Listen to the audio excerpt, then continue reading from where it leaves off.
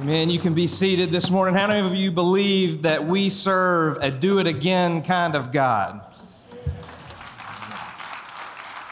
The same God that has brought you to this moment has a new moment ahead for you.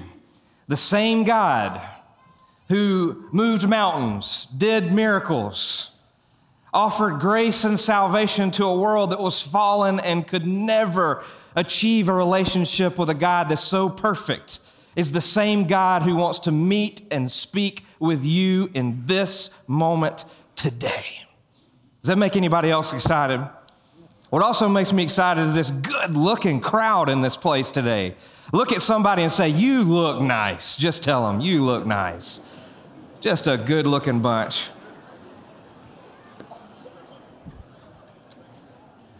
Well, I want to talk about that very faithful God. And so today, if you brought your Bibles, your electronics, iPads, whatever you've got, look at 1 Peter, the book of 1 Peter, chapter 4. 1 Peter chapter 4. And I often say, if you've heard me preach before, I think every passage of the Bible is my favorite passage.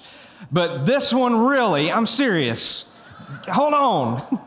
this one really is near the top of the list. There's a verse in this passage that goes to bed with me and wakes up with me every single day. And I can't wait to share it with you today. I think it's a perfect kickoff to this new series. We are starting a new series and emphasis. We do that here at church. If it's new to you, maybe it's a New, Year, new Year's resolution for you to be in church. It's a great time to be at Blackhawk because we are starting off what we just call a new series. It's just a focus for the first three months of this year. We will be talking about making disciples.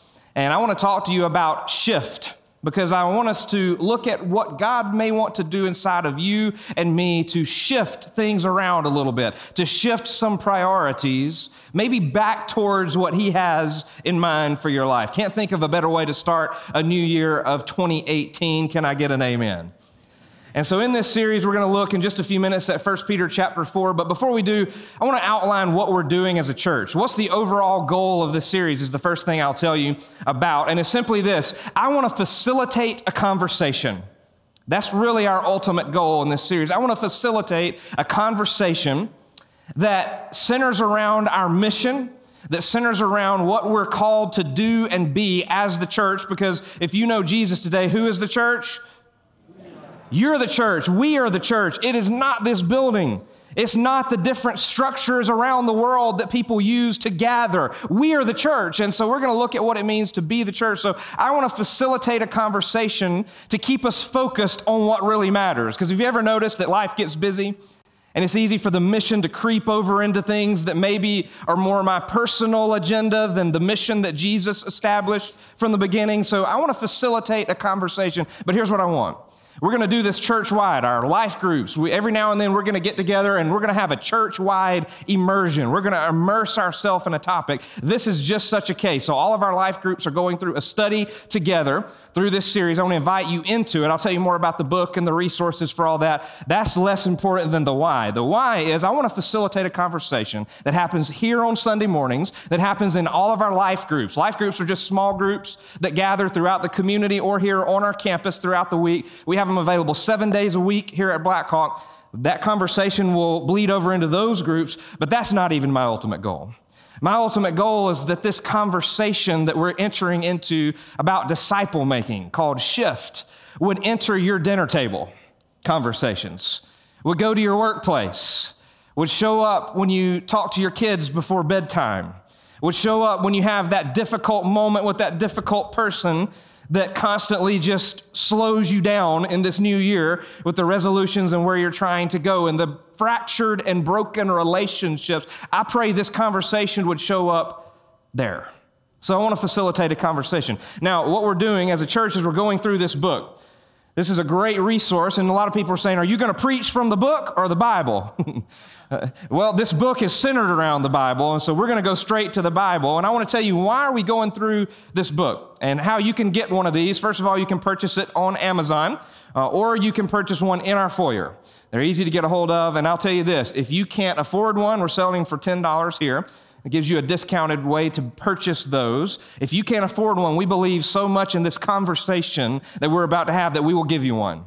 And so that is our offer to you. So, why this book? Is it because some church, real life ministries, or some of the authors of this book, that they've come up with this cute little system that we're going to try to copycat and be like here at Blackhawk? No.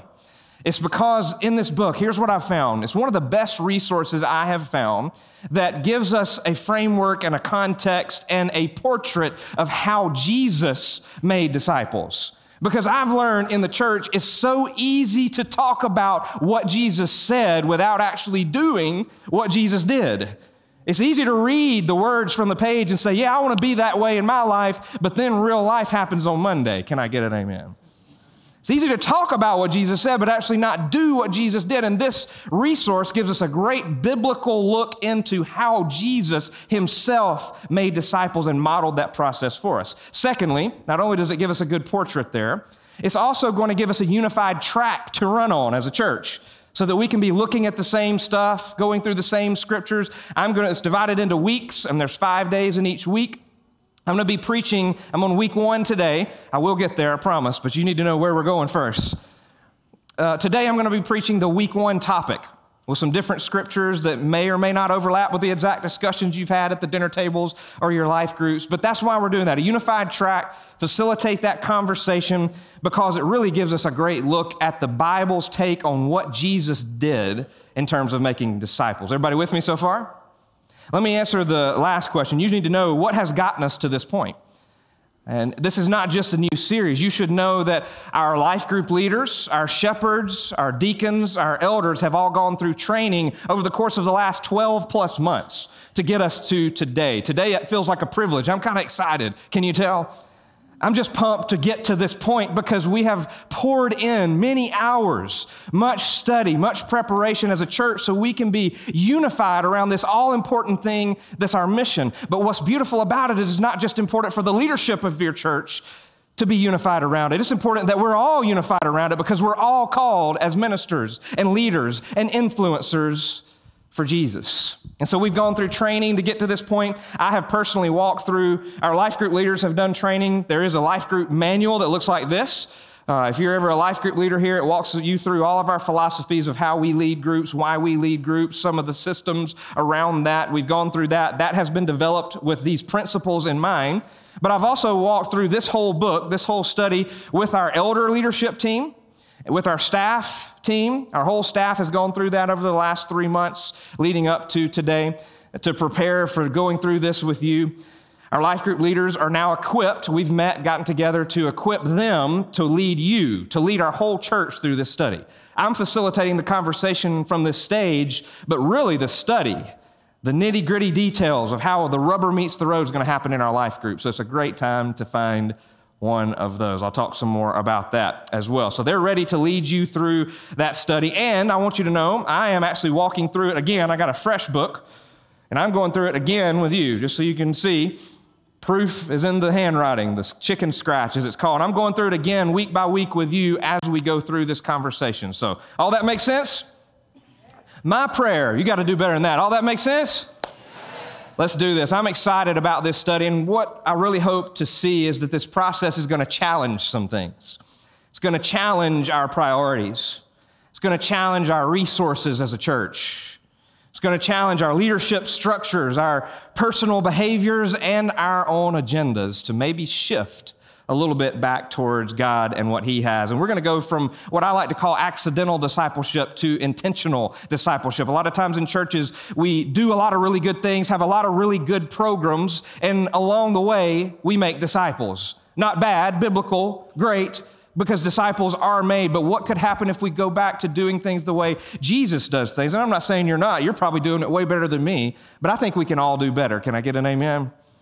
Because things tend to shift away from what they were intended to be as we follow Jesus. But I believe this is going to challenge our hearts, challenge our mindsets about life. And we'll go from accidentally making disciples because we do a lot of really good stuff to intentionally being like Jesus every single day and weaving his call and command into our life, threading it through our workplaces and our homes, our visits to the grocery store, our coming to church and our life groups in a way that it changes our life. That's what I hope we can see and believe we will see as a church. And I'll tell you, when it comes to the church, I'm a church kid. I'm a PK. grew up in the church. I love the church. I love the local church. I love that I grew up in church. But my best experiences in life and my worst experiences in life has happened and have happened in and through the church. Some of you have been hurt by the church in a way that you find yourself surprised you're even sitting in the building with me right now. It's a reality. You don't know why? I can tell you exactly why you were hurt. You say, You don't know me. You're right, I don't, but I know church really well. And you know what I know? You were hurt because the church is filled with, are you ready for it? People just like you and just like me. But I believe some healing's coming today. I believe God brought you to this moment to get maybe a fresh look at how Jesus wants to meet you in the midst of this thing that he built. Some people say, well, I can follow Jesus without the church. To which I would say, no, you can't. Because not because I say so, but because Jesus said, "I'm going to build my church, and even the gates in hell, uh, gates of hell won't prevail against it." The church is the vehicle that Jesus chose and established and built and is building to carry His mission to a world that so desperately needs the good news. And so you can't truly plug into the intentions and the mission and the purpose and the methods of Jesus without plugging into the church. Not what some of you wanted to hear but I think there's some refreshing ways you can look at how to do just that. Some of my greatest experiences happened in the church when I first got into ministry. Jessica, my wife, and I started what I like to call a bus ministry uh, using a four door sedan Nissan Altima. And we went in our community all over the place and picked up kids, made trip after trip after trip. And I didn't know what I was doing. I started ministry when I was 17 years old after telling God the one thing I would never do or be as a pastor like my dad. Be careful what you tell God you'll never do because there I was. And so we started this bus ministry with a little four door car. And we picked up these kids, and they were coming to know Christ, and we were baptizing kids. But they also made a mess in the fellowship hall, we called it. They spilled drinks. They tore up the sheetrock. We tried to take care of the place, but you know, I mean, how many of you were kids before? That was, that was you, by the way. You missed your cue. Everybody's with, we were all there, and you know what I'm talking about. Kids are kids. And so, but then we started bringing kids that didn't have a skin color that looked like mine, and some people didn't like that, and they didn't like the mess that all the kids were making. And we had this guy in a church that I served that we called the cussing deacon. I'm not kidding. We don't have any of those, I don't think, around here at Blackhawk. If we do, please let me know. Um, because I've met that guy before, and literally I have been cussed out by a leader in the church as this 17, 18 year old youth pastor for bringing kids in that were tearing up the walls, making a mess, and that this church was not meant for people who have a different skin color than mine. And I was disgusted by ministry. And I quit and said, God, I shook my fist at God. And I said, God, this is exactly why I said I would never be a pastor. I told you. And God just had grace and patience for me, and I went and just served the church for a while, thinking I'd never go back into vocational ministry, but God wouldn't let me alone. And He said, You're going to go and be a part of the solution. And I went back into ministry, never knowing I would end up moving across the country to pastor a church like Blackhawk. But here we are. I love the church, but I've seen it at its worst. I've seen it at its best. And I believe that some amazing days are ahead of us here at Blackhawk as we have this discussion. And I believe somebody in here can really identify with me because you've been hurt. You've seen the church at its worst too. But I believe the same God who built and established the church to begin with is going to do it again. He's still faithful. He hasn't given up on you. And you, I want to challenge you with me to not base, hear me, this is going to change how you look at church if you can embrace and own this. Don't look at the church through the lens of its people. Look at the church through the lens of the one who founded it. And that's none other than Jesus. Because while the people in his church will let you down, I'm your pastor and I'm human and I'm so imperfect and I will let you down. I'm so far from perfect. Don't look to me and put me on a pedestal. Put Jesus up there and look at his church through the lens of him who created it and started it and asked you to be a part of it, not through the lens of what I can bring to the table or what you can bring or those other people that may have hurt you. And it'll change the way you engage with the church. Some of you came just to hear that today. But there's more. I want us to start talking about this conversation today. And what I really hope for is this. You wonder, what is this ordeal over here? This is a defibrillator. If you don't know what these do, they shock your heart back into rhythm. Should you find yourself in cardiac arrest or find yourself in need of that, then I'm far from a medical professional, but I do need a volunteer. Why is nobody moving? I'm just kidding. I'm just kidding. I've got one taker. One guy. We know who the most courageous soul in this place is. And this is the real deal. We got to use this today. I'm going to turn it down. But what you do with these babies, who's ready? You shock, it sends a pulse, a shock to the heart. And it shocks the heart back into the originally intended rhythm that would make you a healthy, functioning human being. What I really hope that God's about to do today and through this series is that He'll shock some hearts back into rhythm, that He'll shock and shift some hearts back into place in a way that maybe you'll see the church in a new way. Maybe you've been here at the church for a long time. Maybe you think you have discipleship figured out. I would submit to you, unless you're doing it exactly like Jesus did, you still have a long way to go.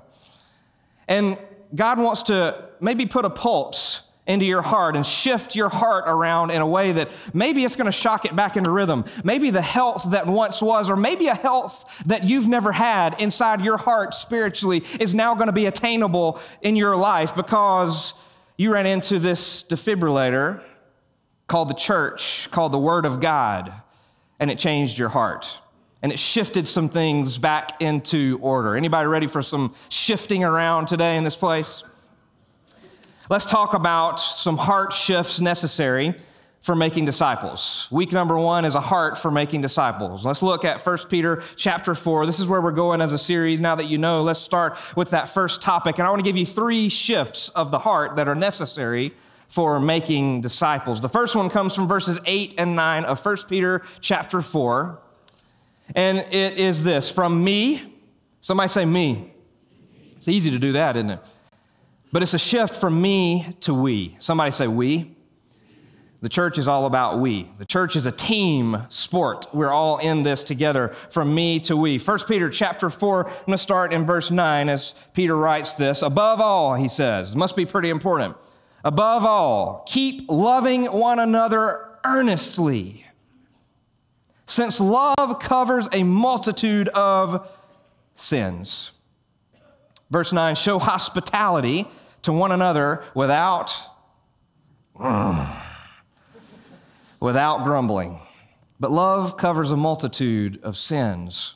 And above everything, keep loving one another earnestly. It's a we thing. We've got to go through it together. The Christian life, I want you to know, is never meant to be lived alone. Some of us, though, have navigated our way through the Christian life trying to avoid people at all costs. In ministry, going through seminary, it was often said that ministry would be easy if it wasn't for the people. It also wouldn't exist. The mission that Jesus came to accomplish also would go away because the people were the mission that Jesus came for. And can I give you a statement? About your spiritual walk, and the statement's this if you avoid people, you're going to miss out on the best that life has to offer. If you avoid people, you're going to miss out on the best that life has to offer. My worst experiences in life, in life have come because of people and surrounding people, but so have my best experiences in life. Meeting some of you has been one of the greatest experiences of my life this some just under 18 months that my family has been here.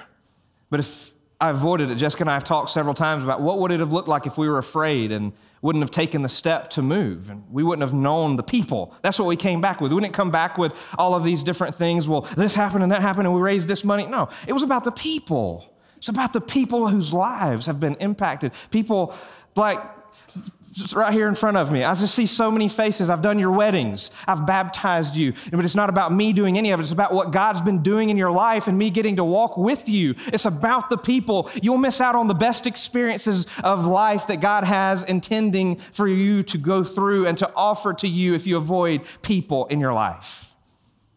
So maybe your shift is from me to we. Verse 8 love covers a multitude of sins. And in your notes, you'll find you can take notes, by the way. We gave you a note sheet as you came in. You can do it on our app, or if you just even act like you're taking notes, nobody's going to know the difference.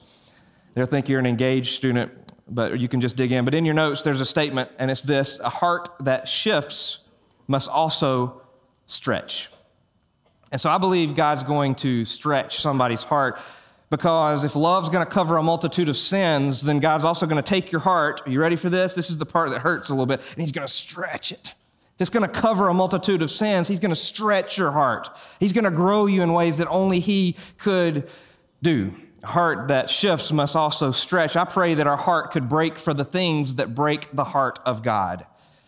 Not the things that I want, but for his agenda, the things that he desires. That's the love that covers a multitude of sin. Have you ever noticed that your love doesn't really cover a multitude of sin? The sin seems to win when you do it through your love, doesn't it? You've tried that in relationships, right? And it just doesn't go very far. But today there's a love that's deeper, love that's stronger, a God who is faithful and wants to meet you in the midst of your mess in such a way that his love will then spill out and spill over into all of the fractured, broken relationships that you thought of when I said we need to shift from me to we. You thought of some, didn't you? Or unless you have all the perfect relationships, you've got all of yours lined up perfectly, right? No, because they're people and you're people, and people tend to hurt people. And you know what I've learned too? The people that have hurt me the most, I've found if I've really cared enough about them to find out that they are often the most hurt people. Because hurt people hurt people. Some of you are in that boat today. I think you're going to find some healing for the hurt. But can you humble yourself enough to receive it? And let God do a work in you through that love that is still true and available to you. Did you hear me when I said that? It is still true and available to you in this place today. Somebody needs to know that because you don't fully believe that. I believe God's going to work in your heart in a way that will lead you to that very spot. Verse number nine says, Show hospitality to one another. We try to be a kind of church that welcomes people well at Blackhawk. Hopefully, if you're new with us, you were greeted. You couldn't get in here without talking to some people. If you did, we apologize and we want to change that. We want to be a church that shows hospitality to people without what? Without what? Without grumbling. And if you ever want to see a pastor whose love doesn't cover a multitude of sins, let, I'm just, can, I, can I be real with you for a minute? This, you said, I don't know. I'm not sure what we're getting into. I'm going to do it anyway. So you're kind of a captive audience right now, aren't you? If you want to see a non pastor like person, let me hear a story of somebody who may be just trying the church out for the first time. They've been hurt by a church, and then hear the story that they sat in a seat that was some self assigned seat, and somebody walked up to them and said, Hey, I'm sorry, but that's my seat. Can you move? Oh. Let me tell you, Blackhawk, there are no assigned seats in this place. And I pray with all of my heart for a day. And I believe today may have been that day. I know I may be stepping on some toes and maybe it needs to happen today. I don't know. But I pray for a day where the self assigned parking place that maybe you lose or the self assigned seat that every week you come in and self assign yourself a new seat that is taken up by somebody else because people are coming to hear the gospel. And I pray for a day where we who have been called, we who have walked this journey and we call Blackhawk home, that we pray we get to stand in the back because not only is our seat taken, but every seat is taken, and we end up having 10, 12 services to fill this place up with others who want to hear the gospel. That's what I want to see in this church. Who's with me? It's not your seat. Look at somebody say, ain't your seat. And I pray that if you lose your seat, you say, I'm so glad somebody's filling it. And I'm so glad I get to sit beside my seat with you to hear the good news of the gospel today. May we be that kind of church, one who shows hospitality to others without grumbling. Because what that means is that we have to start saying, I don't really care about what's different about you, I care about what's the same about you. Did you hear me? That's so important because that'll change how you look at people, going from me to we. I need to care more about what's the same about you than I care about what's different about you. That's when skin colors don't matter anymore. That's when who we voted for, you ready? Who we voted for doesn't matter anymore, whether we're red or blue or Democrat or Republican or we have this background or we make this much money. All of that goes away and disappears at the foot of the cross because what we have in common is a need for Jesus. That's what the church church is all about. It's not about our differences dividing us, it's about God taking different people with all of our differences and uniting us around one cause, and that one cause is none other than Jesus Christ and the gospel that applies to everyone in the entire world. That's why we exist. That's what Jesus had in mind when he established his church. And I praise God I get to be a part of that. Is that not an exciting thing for you and me? Can you tell I get excited about this topic? I hope that you do as well. And I want you to know, folks, you may have had a bad experience at Blackhawk. I know Blackhawk's not perfect. You want to know how I know? I have two really good reasons why I know Blackhawk is not perfect because I'm the pastor, and I know me, I, I meet me every day. And I don't like, I know. She said, sorry. yeah, that's what I say. That's what I'm talking about. I know me really well. I know Blackhawk's not perfect because I'm the pastor and you're in it. We're not perfect, are we? But you know what? That's another thing that we have in common. And God takes our imperfections and at the foot of the one who is perfect, makes it all okay, makes it all right. Not because what we did is okay, because our sin separates us from God, but because He came and paid for that sin.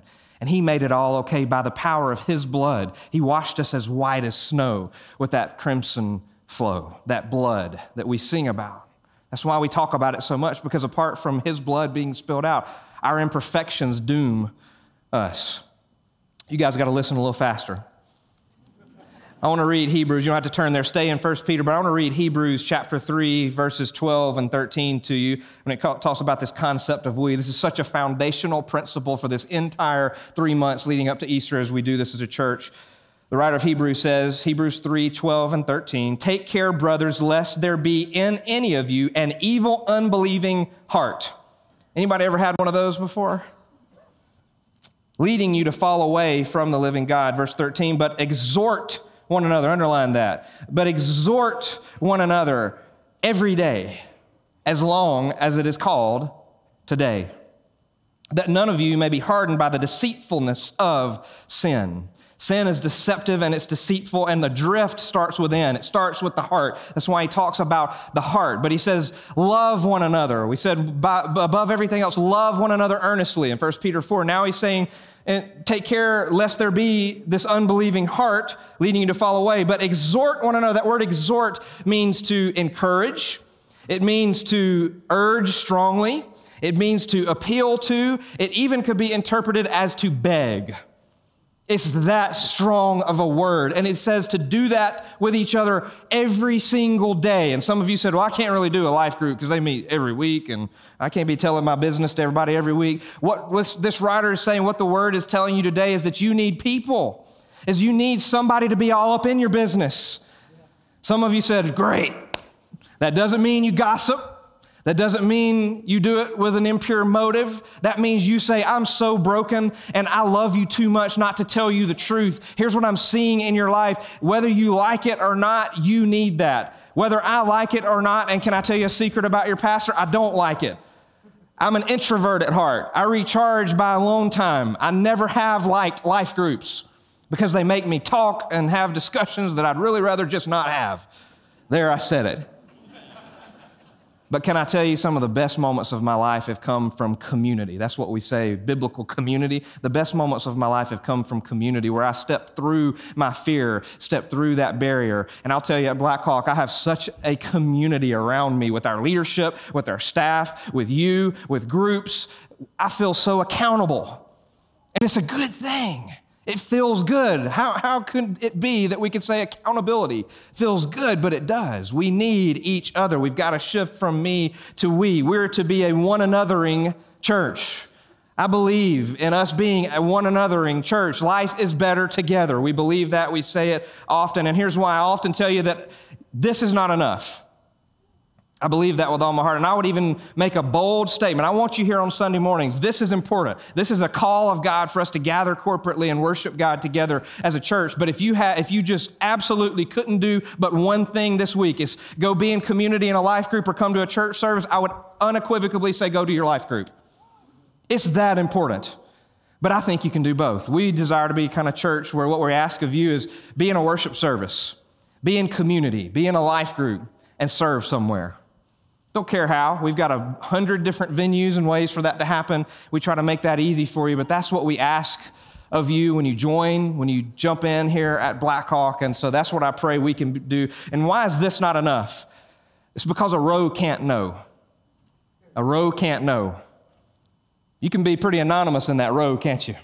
A row can't know. Look at somebody say, A row can't know. Tell them, You don't know. You don't know. But when you get in a circle, people tend to know, don't they? And it changes my life because somebody knows my business and cares enough about me. They're not going to care perfectly, just so you know. You won't either. But it puts us in this thing called community that changes everything. We want to be a one anothering kind of church. And by the way, if you don't have a life group, we want to help you find one. We've got them seven, seven days a week happening at Blackhawk and in our community surrounding us right now. And one of the ways you can do that is this coming Wednesday. Rick Raber is right over here. Rick, raise your hand. He's our lead shepherd. Is going to be facilitating a group, particularly for anybody's welcome, but particularly for those who are not in a life group at Blackhawk. You can come Wednesday at 6:30, meet up in the foyer, right out those doors, and you're going to go through this study that we're all going through together. But it's with the purpose of helping you know more about life groups, so that by the end of that 12 weeks, we can help you find a life group that fits your schedule and needs at your decision. It's your choice, but we're here to walk with you on that journey. Sound easy enough? From me to we. Let me share the last two with you. From me to we. Secondly, is from the stands to the field. How many of you are good at watching sports? Go dogs. You knew I moved from Georgia, right? So it's kind of a big day coming up for Georgia. I'm good at being in the stands, but you know what I've learned about Christianity is I'm pretty good at being an observer in Christianity as well. Can I tell you, if you thought your spiritual gift was observing, there's not a gift called it's observing. There's this concept from the Bible called the priesthood of all believers. It means you're a priest. It means you're a minister. It means you are called to ministry. Ephesians chapter 4, almost preached some of it today. Definitely not time for that today. For another day, I preached it here. But it gives a clear picture of, of direction for the church, both for church leaders and those in the church. And for a pastor, what it tells me is that my main call is to equip the saints for the work of the ministry. Now, that means I'm to be a coaching player. That means I get in the game. It doesn't mean I get to observe either. It means I live it and do it, but I coach and lead and release people and equip people to go and do the same with their life. That's the call of my life. But for the church, for you, it says equip the saints. That means the primary execution, the primary vehicle through which disciples can be made happens by the work of ministry that's done by the saints. You ready? You are the saints. We are the saints because we are the church. And I'm not talking about the NFL kind. I'm talking about the kind that you've been transformed by Jesus and you've gone from sinner to saint. You may still sin. You may still look like a sinner in the mirror, but when God looks at you, if you know Jesus today, he sees the clear blood of Jesus over your life and he sees you as white as snow. You're a saint. You should shout about that. Some of you don't believe it, perhaps, though. But when you read the word and let Jesus take you through life. You'll go from the stands to the field. And what I love about verse 10, look there with me back in 1 Peter, 1 Peter chapter 4 says, Show hospitality to one another without grumbling. Mm. But no, verse 10, here's that verse that gets up with me every single day, and it's verse 10. And it says, As each has received a gift, use it. Use it to serve one another as good stewards of God's varied grace. I get emotional almost every time I read that verse because I don't deserve to receive God's grace, much less to be a steward of it. But there's information and initiation in that verse. The information is that you have received a gift. If you know Jesus Christ, if you've surrendered your life to Him, the power of the Holy Spirit has given to you a gift, at least one. That's the information. You're gifted, you're called, you're a part of the team. The initiation is two simple words, but as each has received a gift, what was it? Use it. Somebody say it with me use it. Some of you have been sitting on your hands been sitting on your gift. Use your gift. The information is that you've been gifted. The initiation is that you're supposed to use the gift that you've received to what? To faithfully serve one another. Again, it's from me to we. It's about us together, walking through life together. But then the last part is what gets up with me every single morning. To use it, to faithfully serve one another as what? As a steward. What is a steward? You got to talk to me a little. I preach way better when you talk. And I preach shorter too. I bet I'll get some talking now. What's a steward? A manager. Other words, pretty good. We're going to go with that then, huh? A manager. good. What was it? A servant? Absolutely. Say again. A trustee, oh, that's good. It's not mine. A trustee, that's really what it is. A steward is one who manages something that's not our own. If you're stewarding something, it's not mine, but I hold on to it for a while. I take care of it. So read the verse again. We're to, we, we've each received a gift, so we use it to serve one another as stewards of God's varied grace. I get to be a manager. I say it this way a giver outer. Really theological term. It should be in a theological dictionary journal somewhere. I'm sure it's not, but I'm going to write that one one day. A giver outer, an administrator a manager of God's grace. I don't deserve to be given the grace of God, much less to be a manager of it. Yet God says, Here it is. I trust you with that grace. Go be a manager of it. Go give it out to other people. You get to represent me to the world. The church is the vehicle that Jesus built when he said, I'll build my church, and even the gates of hell can't prevail against it. That's what we're tasked with. Does that just get anybody in the gut? That'll shock your heart back into rhythm, won't it?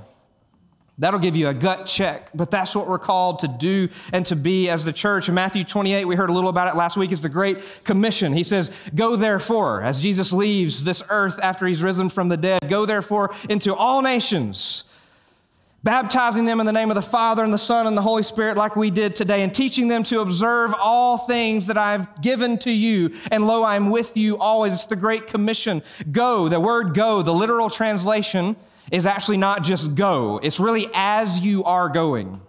The word go really means as you are going. And so that means discipleship, our call, our commission to shock our heart back into rhythm to be healthy again may mean that discipleship and making disciples and being a disciple doesn't just happen on Sunday mornings from this little morning time frame until I get to go to lunch and the pastor shuts up and stops talking. Maybe it starts to go into my life group time. Maybe it goes to my dinner table. Then, as I'm going to the grocery store and as I go to work and as I talk to my kids and as I answer that phone call and as I go, I make disciples. That may require a heart shift for somebody in this room, though. It does for me on a daily basis. I think it should can be a constant shifting. We shift from the stands to the field. Can I ask you a question? Is it time to get in the game? To use the gifts that God has given you. And let me tell you about your gift. I don't know what it is. Can I tell you what I know about it, though? It's enough. It's enough. Because you're enough? No, you're not. But He is. He already always has been, and He always will be. Last thing, and this is maybe something that'll help you the most this week to engage in and maybe employ these principles, and it's this from self effort to Jesus empowered from self effort to Jesus empowered. You ever gotten up in your faith and said, I'm just going to try harder today? Gosh, kind of Just try harder. Come on, Kevin, try harder. And then you find that your effort just falls short time and time again. Maybe it's because you're not tapping into the strength that's available to you. Verse 11 in this passage continues on after we talk about being stewards of God's grace. Whoever speaks, as do it as one who speaks the oracles of God. Whoever serves as one who serves by the strength. This is underlined in my Bible. By the strength God supplies. Not by my self effort, but by the strength that He already has given to me. He's gifted me with. It's available to me in order that in everything God might be glorified through Christ Jesus. To him belong glory and dominion forever and ever. Amen. But it's by the strength God supplies, not what I bring to the table. A healthy church life, a healthy disciple maker flows from Jesus, not from me. In John chapter 17, it's one of the key parts in your study you will look at. Jesus, I won't read it to you today, but he simply says what he has done. He's praying. It's the high priestly prayer. It's right before he would be arrested and crucified on our behalf. And he's praying and saying that he's accomplished the work that God had given him to do. And the question is, what is that work?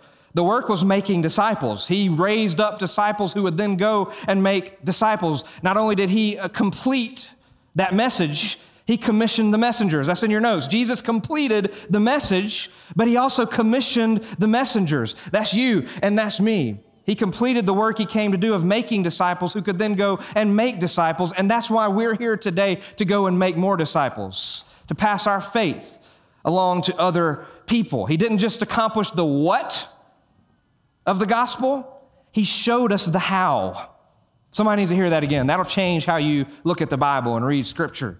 Jesus didn't just accomplish the what of the gospel, He showed us the how. We don't have a high priest who's unable to sympathize with us because he has been tempted as we are tempted, yet he was without sin and he showed us how to go about making disciples. So today, can we merge the message of Jesus with the methods of Jesus in our life? He completed the message. That part's done. That's why it's good news. It already happened. But he's now commissioned the messengers. I want to ask you just to bow your heads with me and close your eyes today.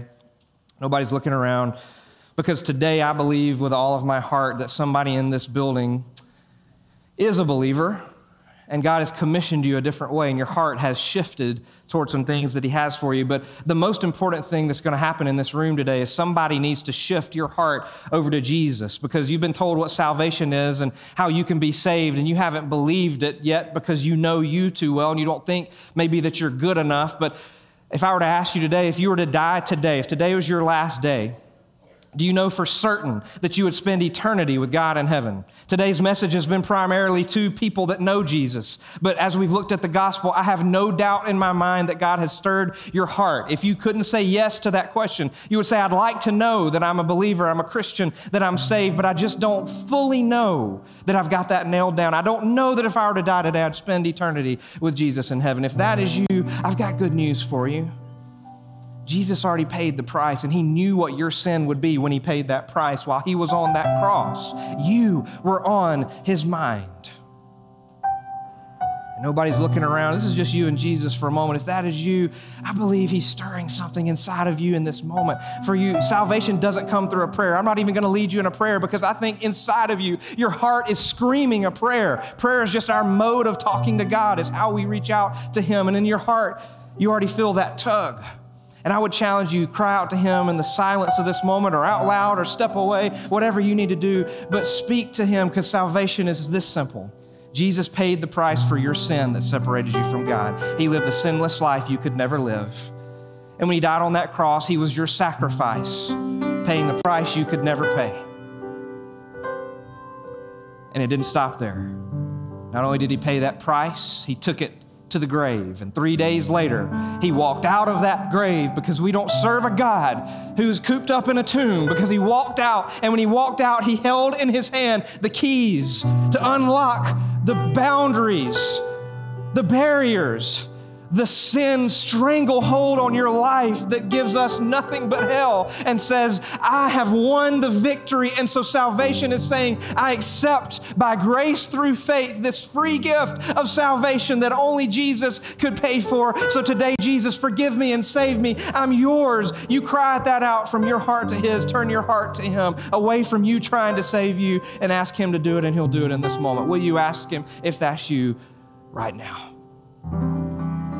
Nobody's looking around. Cry out to him.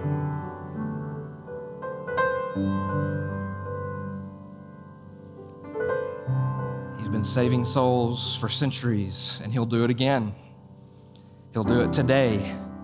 He'll do it right now. Nobody's looking around. If you've taken that step, I want to ask you to just acknowledge that. We're not going to take you out of the service. I just want to give you next steps that you can take on your own to continue this walk of faith. If that is you, nobody's looking around. What I'm going to do is I want to ask you before me and God just to acknowledge that, to say, today is that day for me. Put a stake in the ground that today was that day. So on the count of three, if you took that step, you cried out to Jesus, and you have taken that step today, on the count of three, I want to ask you to slip your hand up and just say, Pastor, pray for me. You ready to do that? Right on three. One, two, three. Raise your hand. God bless you and you and you and you and you. Who else? Wave me down.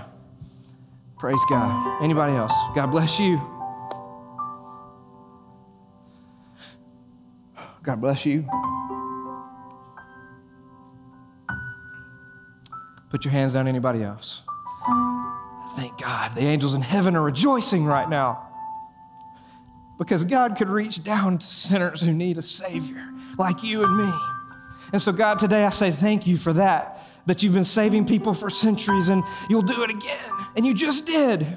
And so, God, we join the chorus of angels in heaven and thank you for salvation that comes through the gospel on a day where we've looked at the marching orders of Christians. God, you have recruited new ministers, people to go out and march with us together as we shift from me to we, as we shift from the stands to the field, and as we shift from being self empowered to Jesus empowered. God, let our self effort be put to rest and be empowered by a Jesus who holds all power and all authority. And God, we celebrate with the angels in heaven with our new family members. And because you hold that authority, the name above every name is who we pray through and because of today. It's the name of Jesus. And everybody said, Amen. Let's celebrate. Welcome these to the family of God today.